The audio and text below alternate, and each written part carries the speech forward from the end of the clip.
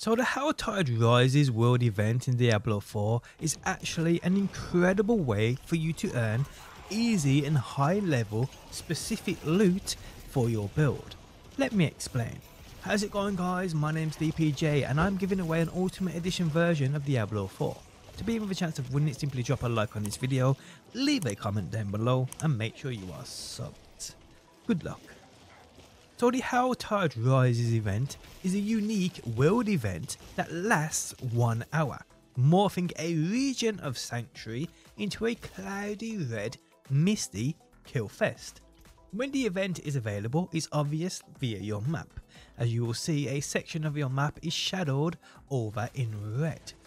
Now these Helltide events only become available upon you completing the main campaign story then completing the Cathedral of Light capstone dungeon on a world tier, and then switching over to a world tier 3. And you are basically set. There is I believe a priority quest which will pop up within Kyovashad which you will need to pick up which briefs you about these Helltide events.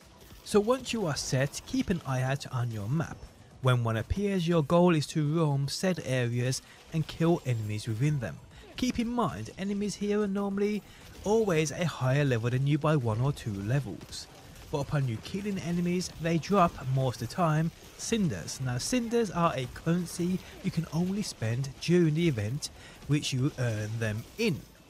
And you can spend them on chests you can see on your map within same said areas.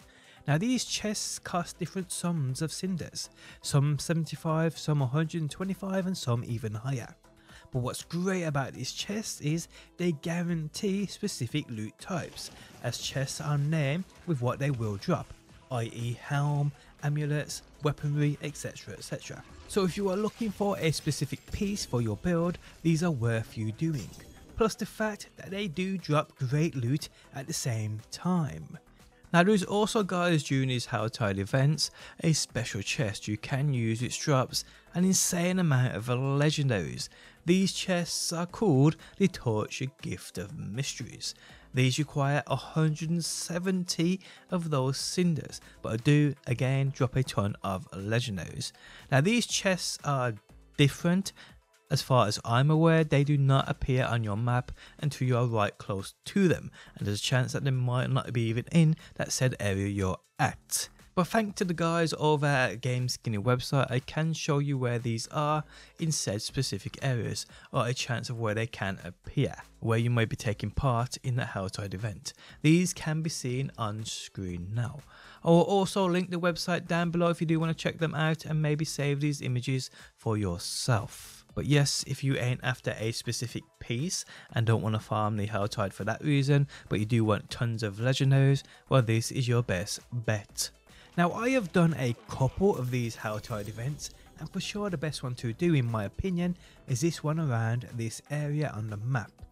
Not only are there loads of chests for you to collect, but there are tons and tons of enemies here too, so you're actually able to open all of the chests. Some of the other areas I've done these events at are a little short on those enemies and you find yourself actually looking for them, where in this area most of the time the enemies are looking for you. There are that many of them. So yes guys, these are definitely worth your time doing them as they can indeed like I said drop amazing loot for your build. So when you see one especially in this area and you got free time, go ahead and do it. They last an hour, you have plenty of time, so go get that loot people. And there we have it, the end of the video has arrived. Guys, if you enjoyed it, leaving a like really helps out. If you like what you see and want to see more, be sure to subscribe and hopefully guys, I will see you on that next one.